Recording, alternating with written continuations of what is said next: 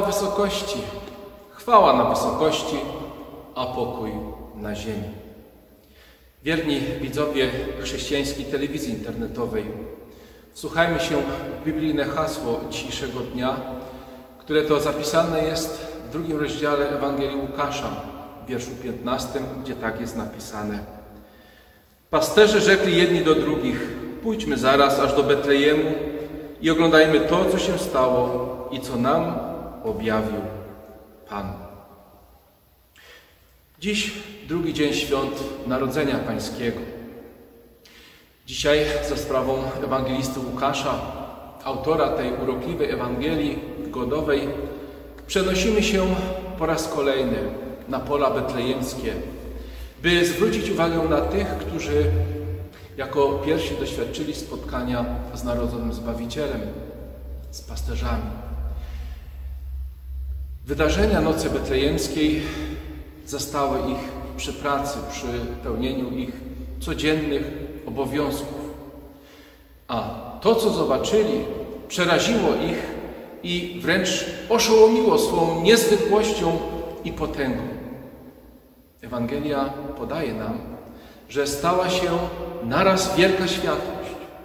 W jej blasku zobaczyli mnóstwo wojsk niebieskich chwalących i wielbiących Boga, a przerażeni nie wiedzieli, co zrobić, co to wszystko ma znaczyć.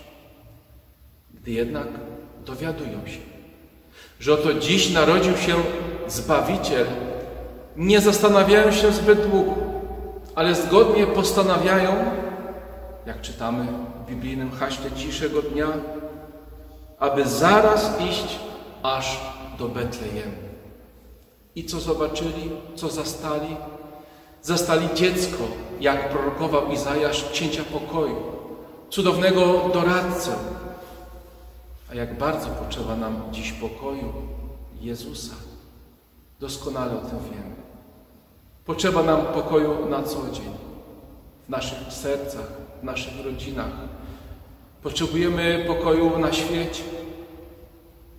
Przedwczoraj z Marią Józefem, właśnie także z pasterzami i aniołami i z naszymi bliskimi poszliśmy do Betlejem.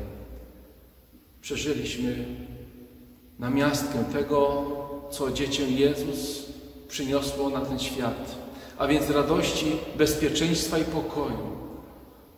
On obdarował nas swoimi darami, a my nauczmy się dzielić radością świąt godowych z innymi.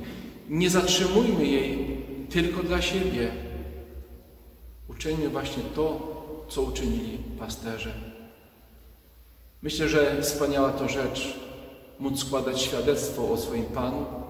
Wielka to sprawa móc dzielić się radością serca, miłością i pokojem, który objawia się w Jezusie Chrystusie. Boże Narodzenie to chyba najlepszy moment na zmianę naszych zepsutych relacji. Po to Bóg przyszedł na świat, aby zaradzić naszemu nieporadnemu życiu, za to pełnemu napięcia, niepewności, lęku, a także życia bez celu, bez spokoju, pozbawionego sensu i nadziei. Tadeusz Różewicz napisał, że we współczesnym świecie coraz więcej rodzi się ludzi bez miłości, żyje bez wiary i zbyt często umiera bez nadziei. A przecież tak Bóg umiłował świat, że Syna swego jednorodzonego dał, aby każdy, kto weń wierzy, nie zginął, ale miał życie wieczne. Dlatego stojąc z pasterzami przy betlejemskim żłobie, otwórzmy swoje serca, by zaakceptować, przyjąć i nieść dalej to, czym pragnie ubogacić nasze życie, to dziecię. Ono chce wypełnić nasze serce szczerą radością, miłością i pokojem, abyśmy, kiedy już miną święta, wrócili do naszej codzienności bogatsi o Jego pokój i bardziej chętni do składania wobec świata świadectwa o Jezusie.